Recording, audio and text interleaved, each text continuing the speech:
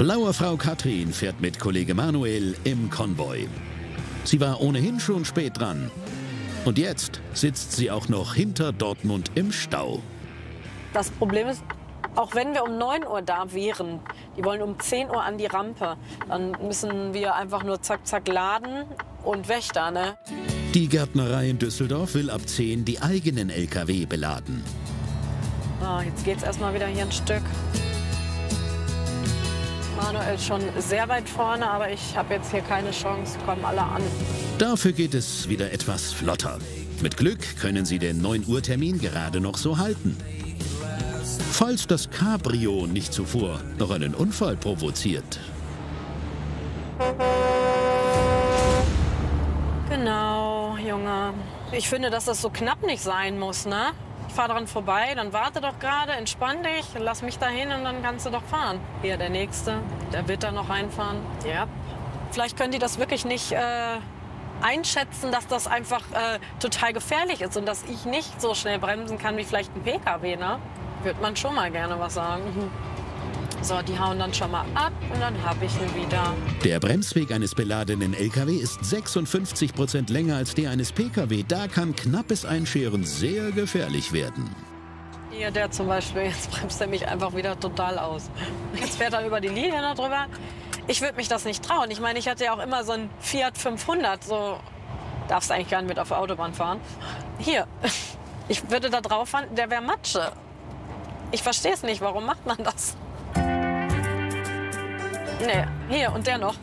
Er will auch noch. Er weiß gar nicht, wo er hin will. Katrin will nach vorne, zu ihrem Kollegen. Oh, jetzt fährt Manuel nüber.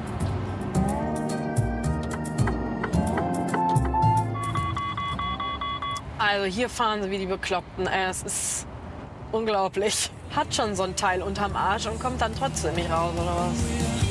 Und als sei noch nicht genug Bambule, zieht Frontfahrer Manuel auf die Überholspur und auf und davon.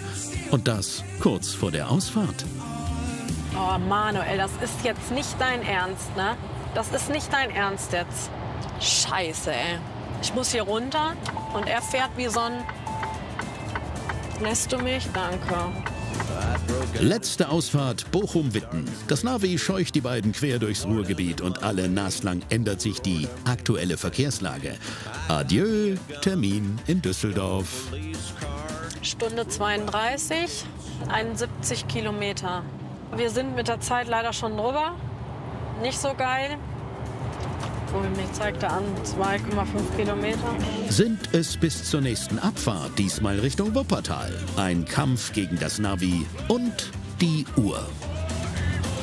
Och Manuel, ey. Hier müssen wir nämlich runter. Das sagt zumindest Katrins Navi.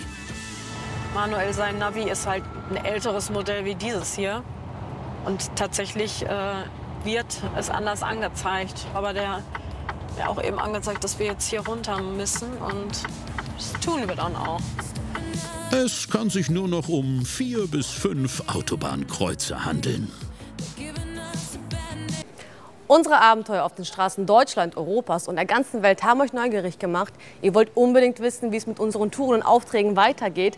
Dann klick hier, um das nächste spannende Video von unseren Trucker Babes anzuschauen. Oder du abonnierst gleich unseren Kanal, um kein Video von unseren Ladies zu verpassen. Außerdem hast du noch die Möglichkeit, auf Join alle Folgen unserer Trucker Babes ganz entspannt anzuschauen. Viel Spaß!